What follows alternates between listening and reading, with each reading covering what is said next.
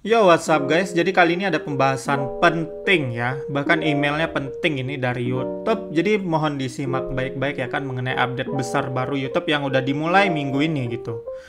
Jadi YouTube mengirimkan email yang mana mengatakan kalau seperti yang mereka umumkan itu short akan mulai dimonetisasi dan juga uh, akan ada perubahan atau kontrak baru dari monetisasi YouTube ya, dari itulah dari YPP-nya istilahnya jadi apa yang lu harus lakukan? Yang pertama yaitu kita akan mulai menghasilkan uang dari short mulai dari 1 Februari terhitungnya ya. Itu uangnya akan masuk lah hitungan dari short. Tapi yang kedua ini yang penting untuk berlanjut untuk dimonetisasi sebagai partner dari YouTube, lu wajib menyetujui kontrak barunya terakhir itu di untuk diisi pada 10 Juli. Kalau lewat dari situ lu akan dihapus status monetisasi channel YouTube lu. Jadi lu wajib ngisi lah istilahnya ya kan. Yang mana akan ada mulai ada tampilan kayak gini nih, gue lihat di channel dan DC ya. Di mana kita diminta untuk nge-review dan menerima persyaratan terbaru dari YouTube ini. Yang mana kalau nggak diisi ini channel kita bisa terdismount.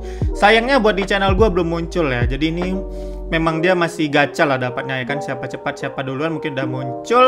Tapi Januari ini nanti harusnya udah dapat semua gitu. Jadi lu harus menyetujui hal ini ya. Aktifkan buat iklan shortnya dan lu harus meninjau persyaratan-persyaratan ya. Jadi tampilannya nanti ngisinya itu seperti inilah. Ya sebenarnya nggak ribet sih tinggal ditinjau aja gitu. Yang langkah pertama terus langkah kedua. Terus kamu tinggal klik nanti saya menyetujui persyaratan. Dan ya setuju lalu dikirim gitu dan ya setelah lu ngisi ya lu aman. Ya singkatnya kalau itu notif udah muncul di beranda YouTube kamu ya silakan di sini yang monetisasi ya. Jadi kalau dia jangan diabaikan lah gitu. Kadang ada orang ya kan ini notif apa nih diabaikan aja. Ya jangan gitu. Mana tahu juga ada YouTuber yang kamu kenal jarang login ya kan. jarang buka dashboard ya. Nanti ingatkan ke mereka entah di Instagram mereka entah di apa. Bang, ada persyaratan YouTube baru, Bang. Coba cek, Bang. Nanti sih, Bang ya ini gue nyampaikan aja sih. Soalnya kalau nggak diisi sampai Juli itu katanya eh, channel lo bisa kena diskon gitu. Jadi itu wajib banget untuk diisi dan isinya pun simple lah. Ya gue rasa itu dulu yang bisa gue bahas. Sekian dulu dan ya mulai dari Februari nanti short akan mulai monetisasi.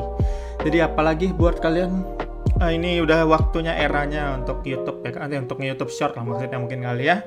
Kalau nggak bisa bikin konten panjang ya fokus di short aja lu bisa dapat uang gitu bikin video-video pendek ya kan?